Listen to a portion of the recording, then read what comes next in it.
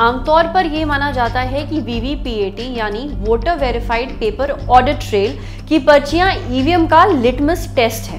इनके सहारे ईवीएम की विश्वसनीयता साबित होती है। ऐसा इसलिए कि वीवीपीएटी सिस्टम से पता किया जा सकता है कि हमने ईवीएम पर जिसे वोट दिया है, उसे ही वोट गया कि नहीं। मगर पूर्व आईएएस अधिकारी कनन गोपीनाथन को ऐसा नहीं लगता। उनका कहना है कि वीवीपीएटी ने ईवीएम को कमज़ोर किया है।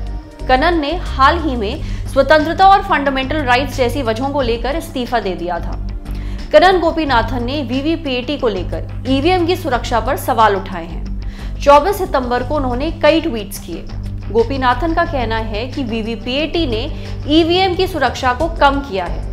इसके डिफेंस सिस्टम में एक लूप होल है और वीवीपीएटी की वजह से हैकिंग का जोखिम पैदा हो गया है।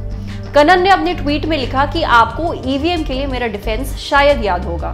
मैं अभी भी इसके साथ खड़ा हूँ। मगर वीवीपीएटी के साथ मेरे पहले चुनावी अनुभव ने मेरा भरोसा छीन लिया है।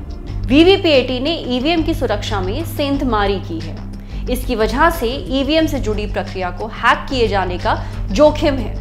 इस ट्वीट में उन्होंने पूर्व chief election commissioner Shahabuddin Yaqub Qureshi, मौजूदा कमिश्नर अशोक लवासा और इलेक्शन कमीशन के ऑफिशियल ट्विटर पेज को टैग भी किया है। अभी तक इनमें से किसी ने भी कनन के ट्वीट्स पर कोई भी रिप्लाई नहीं किया है। कन्नन ने अपने एक और ट्वीट में कहा कि पद पर रहते हुए उन्होंने दो बार इस पर सवाल उठाया था।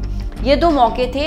आईआईआईडीएम में रिटर्निंग अधिकारियों के साथ ईसीआई ट्रेनिंग के दौरान और फिर ईसीआईएल के साथ कमिश्निंग के दौरान। ऐसे में अब वो बिना किसी दुर्भावना के अपनी चिंता बयां कर रहे हैं। उनका कहना है कि वीवीपीएटी की व्यवस्था ने ईवीएम की फुल प्रूफ प्रक्रिया को कमज़ोर बना दिया है और इस पर तत्काल ध्यान दिए जाने की ज़रूरत है।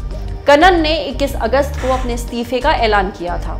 इसके पीछे उन्होंने कश्मीर घाटी में सरकार द्वारा लगाए गए प्रतिबंधों को कारण बताया था। डेजिग्नेशन देते हुए उन्होंने कहा था कि दुनिया के सबसे बड़े लोकतंत्र ने एक राज्य यानी जम्मू और कश्मीर को बंद कर दिया और लोगों के मौलिक अधिकारों का हनन तक किया। आगे चलकर अगर कोई पूछे कि ऐसे वक्त में मैं क्या कर रहा था, तब मेरे पास देने के लिए कम से कम एक ये जवाब तो होगा कि मैंने अपनी नौकरी से इस्तीफा दे दिया।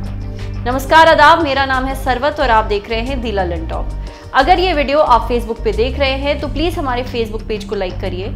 अगर ये वीडियो आप यूट्यूब पे देख रहे हैं तो हमारे चैनल दी ललन टॉप को सब्सक्राइब करिए। साथ ही बेल आइकन पे भी क्लिक कर दीजिए, ताकि जब भी हम कोई नया वीडियो अपलोड करें तो उसका नोटिफिकेशन आप तक सबसे पहले पहुँचे।